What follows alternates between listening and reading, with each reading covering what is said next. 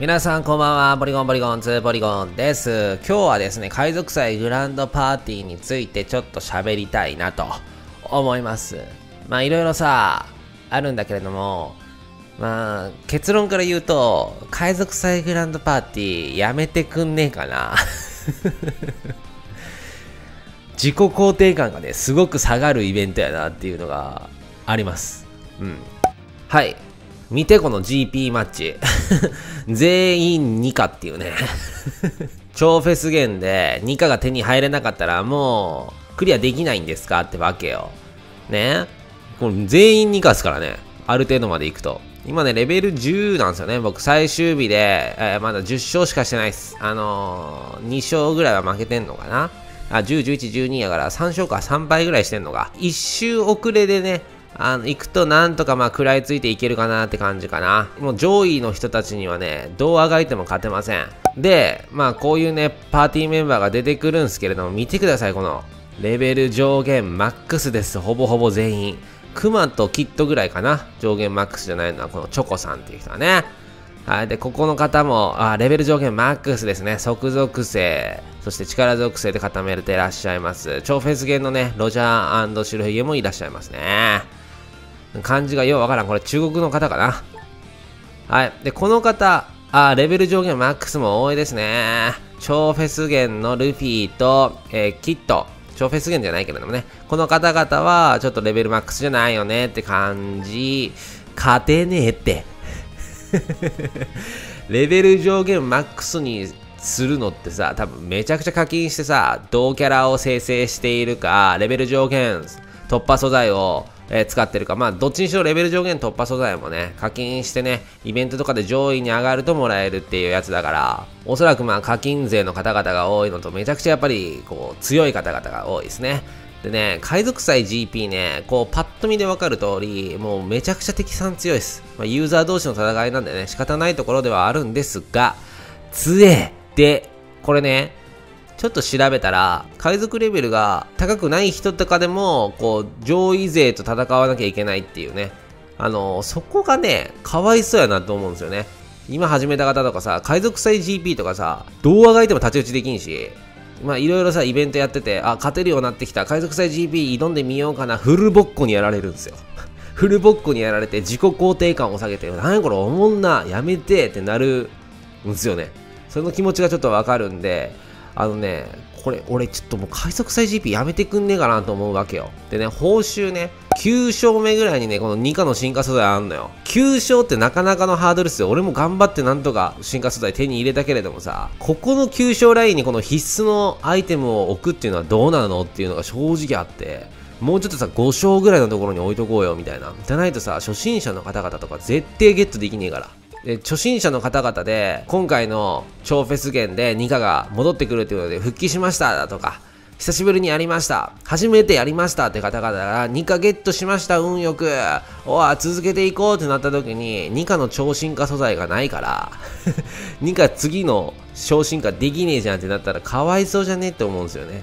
こういうところがちょっと配慮が足りてないかなってちょっと思っちゃったりもしたかな。単純にね、あとね、グランドパーティーね、好きな人は好き。多分上位ですっげえレベル高い人は好きだと思うんだけれども、俺みたいにね、あの、無課金でやってて、そこそこに遊んでる方は結構苦痛のイベントなんじゃないかなと思うんですよね。勝てないから。しかもさ、もうなんかもう全員ニカパにしてたりするじゃん、こう。じゃあニカ手に入ってないやつどう太刀打ちすんの？みたいなね。ソシャゲのさ、悪い方向に行ってる気がするね。こう、強えやつがこう、いたら、もうそいつらばっかになって、こう、じ、なんか自由の発想がないみたいなね。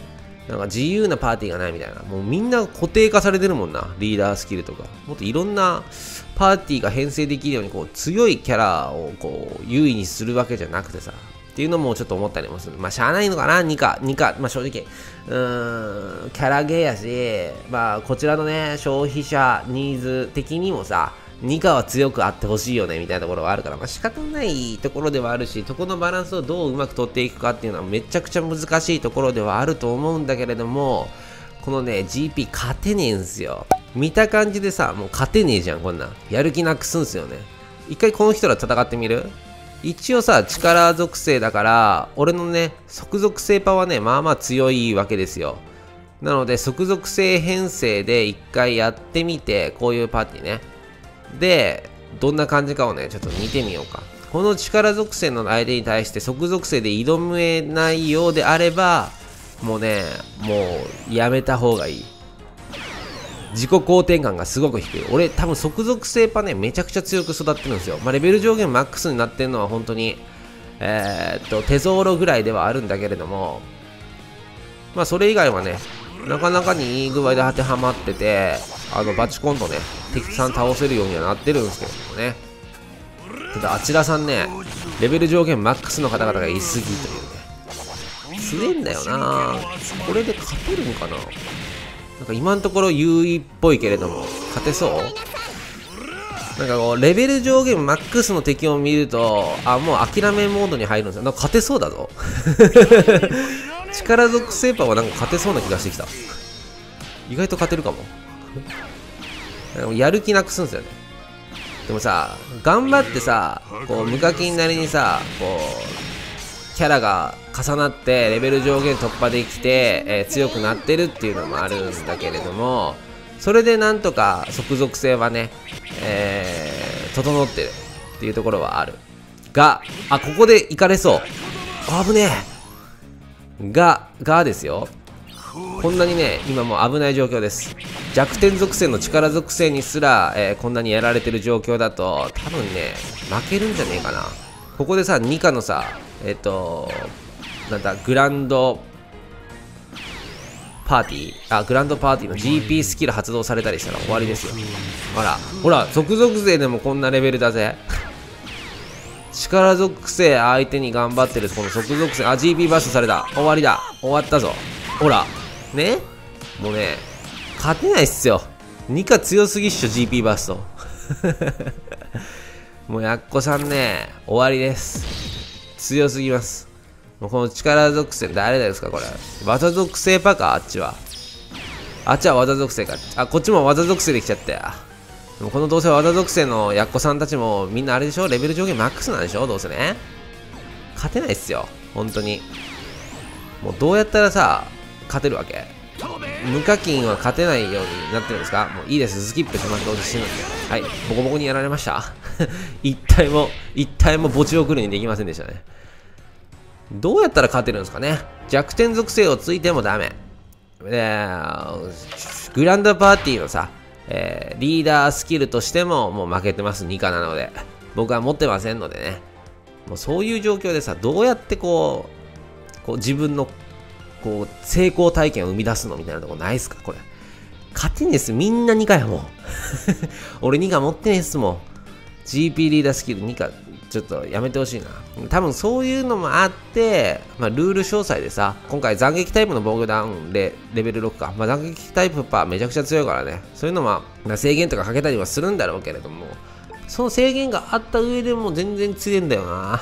自己肯定感を下げるだけのイベントやからすげえやらやりたくないなって思っちゃうんですよね。ただ、やらないと報酬がゲットできないからやるっていうね。別にさ、この虹の宝石とかさ、あの、懸賞金とかこう、綿飴とかどうでもいいんですよね。2価のさ、超進化素材はゲットしとかなきゃやばいじゃん。まあ、今んところさ、コロコでゲットできなくてもさ、今まで通常通りに普通にイベントちゃんとやってる方であれば、2課の超進化素材5個は集まってるはずだから、超進化できるほどのアイテムは揃ってるはずなんだけれどもさ、最近始めたとか、そこで取り逃したって方、ここでさ、やっぱゲットしとかなきゃいけないわけじゃん。厳しいって。まあ、単純に言うと、グランドパーティーちょっとやめませんかっていう提言、プラス、やめないんであればね、もう作り上げてるやつだから、もったいないからね、開発した費用とかが。であれば、こうレベルに応じてさ、トレジャーマップみたいな感じでさ、場合分けしてさ、初心者の方、中級者の方、上級者の方みたいなね、そういう風にさ、設定した方がさ、多分やけどいいんじゃないと思いますね。海賊レベルでこう場合分けするだとか。じゃないとさ、勝てねえわ。まあそうなると俺多分上級者の方行ってもっと勝てなくなるんですけれども そんな場合分けされた暁にはね、多分ね。そんな感じかな。ちょっと海賊祭グランドパーティーね。あの、来るたびにね、いつも憂鬱になる気持ちがあるんですよね。他のイベントだったらそんなことはないんですけれども、あ、また来たんや、嫌やなっていう気持ちになるんで、ちょっと正直な気持ちをね、ちょっと今回話させていただきました。まあ前回ね、の動画では運営さん愛してますみたいなね、動画出したんですけども、今回は運営さん何してないやんっていうね。そういう動画となりました。以上、まあ、共感していただけた方は高評価、そしてチャンネル登録の方お願いします。またコメントでもなんかこう、意見とかね、お前おかしいっていうのがあれば言ってください。じゃあさよなら、バイバイ。